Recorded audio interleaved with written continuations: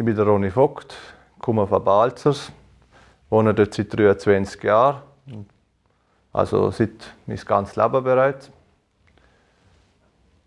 Ich studiere momentan Informationswissenschaft in Chur und beschäftige mich mit Film und Philosophie. Ich bin zum Schreiben gekommen, äh, grundsätzlich schreibt man ja, sieht man, wenn man die Schule kommt, Albi schon. Und manchmal schreibt man dann halt auch noch ein bisschen in der Freizeit, das was einem durch den Kopf geht und was man so, über was man so nachstudiert. Und so sind eigentlich so die eher literarischen Sachen entstanden. Der Untertitel von dem Buch heißt Eine gedankliche Irrfahrt. Und dann ist es eigentlich auch.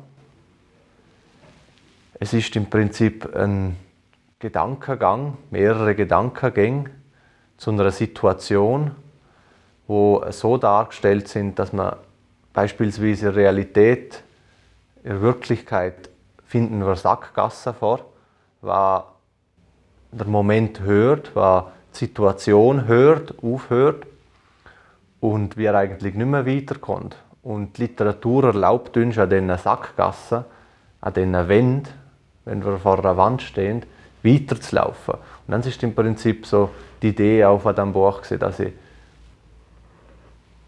auf diesen gedanklichen Irrgängen, diesen gedanklichen Irrfahrten, äh, die unbekannten Gegenden von der Wahrscheinlichkeiten und Situationen äh, besuche.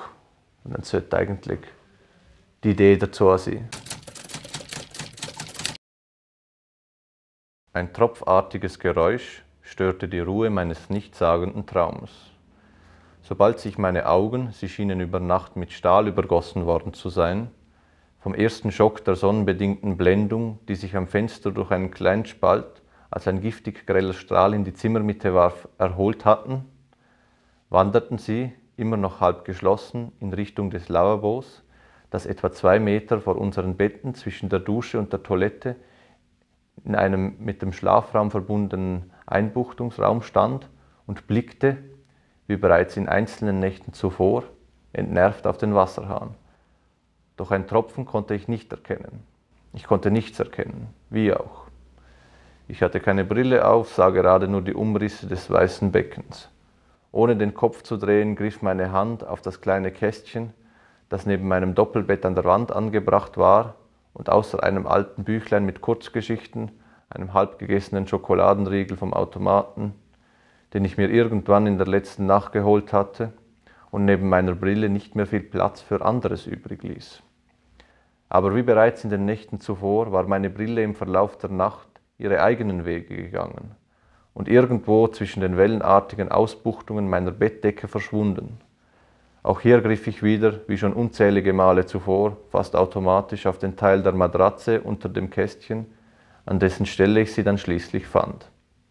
Sogleich glitt sie im Schlepptau meiner Hand über den Deckenrand zu meinem Gesicht und ich setzte sie auf.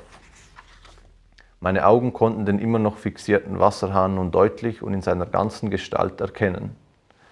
Wach konnte man diesen Zustand nicht nennen denn bis ich bemerkte, dass das störende Geräusch nicht vom Wasserhahn kam, wandte ich mich schon wieder ab, sicher das Tropfen ignorieren zu können.